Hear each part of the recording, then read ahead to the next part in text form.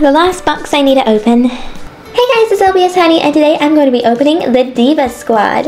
So this is actually the final pack that Huntress LPS got for me in America, so I am looking so forward to opening this, especially the special pet. But before we open that, I actually have a little package with one LPS in it right here. So I'm just gonna open this up real quick. So here's the pet. I'm sure some of you have seen it before. There's a bit of kind of confusion on whether or not it's a mystery pet or not.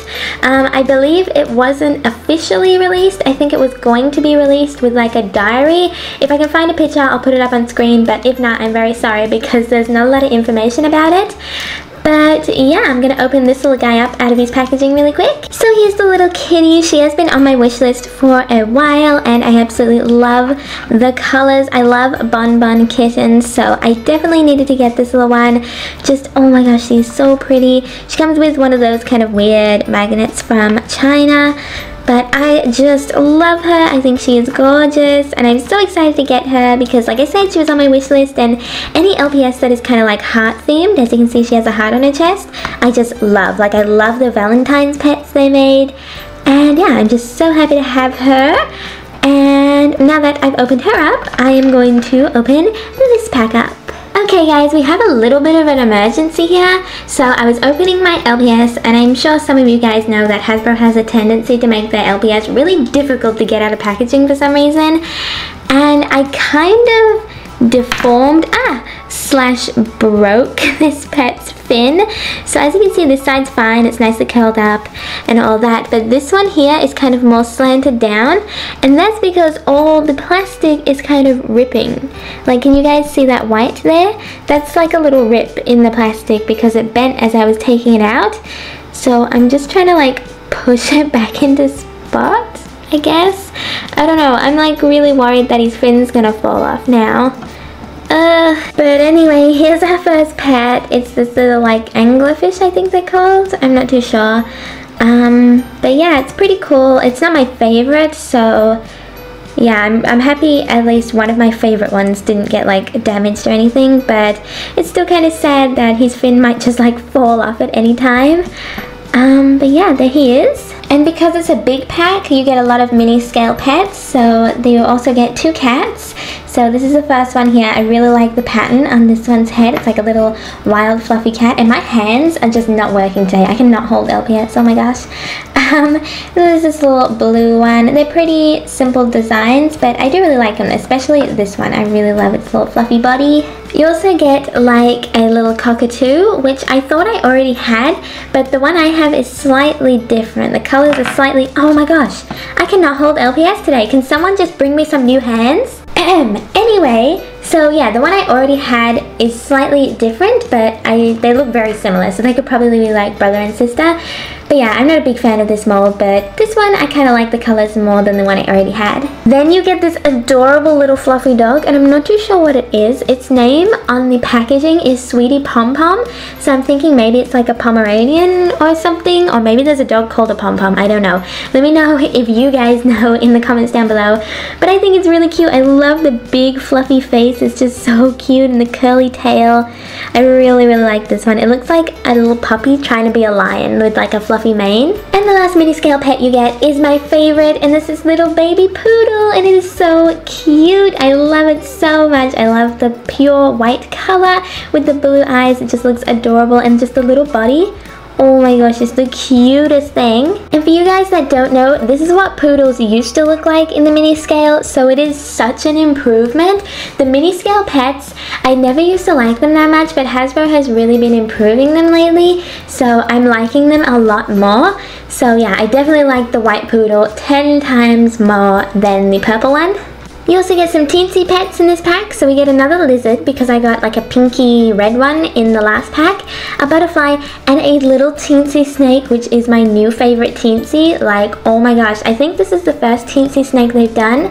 Please correct me if I'm wrong, but I just love how it looks with its tiny little tongue. It is so cute. And I actually forgot to record me opening the mystery pet, which I apologize for, but this is the mystery pet you get inside. It's another little like mud splatter themed pet, and it's this little kitten. And I think this is the first happy looking one. All the mud splatter ones either look sad or grumpy, so it's kind of cute to have a happy one. And of course, the moment we've all been waiting for, the regular size pets.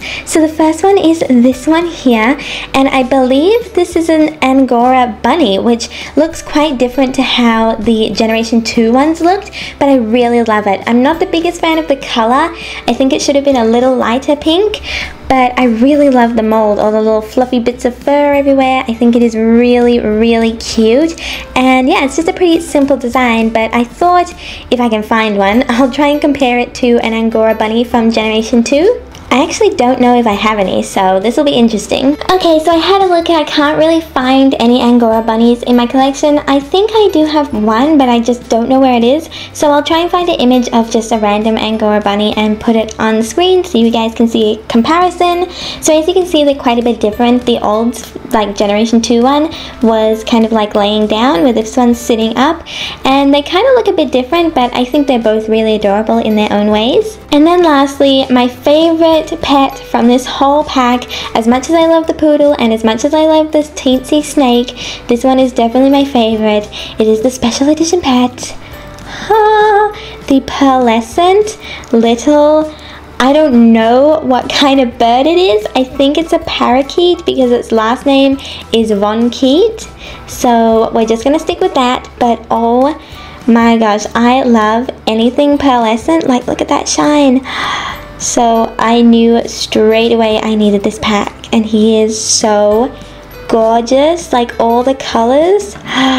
Oh my gosh. And of course I do own some pearlescent generation 2 pets so time for a comparison so I'm not sure if they've ever done a pearlescent kind of bird for Generation 2, but I think we're all familiar with the kind of pearlescent snake. So it's actually a bit different, the pearlescent. On the new version, it's more kind of shiny and vibrant, whereas on the old Generation 2 pearlescent, it's kind of got like a white effect, I guess, or white finish. It's kind of like uh, desaturated, I guess. Like the green on the bird is much more vibrant than the green on the snake. So I actually prefer how they did the pearlescent effect on the bird. And I also just noticed they didn't make the beak pearlescent on the bird, but they made pretty much everything pearlescent on the snake, even the little tongue.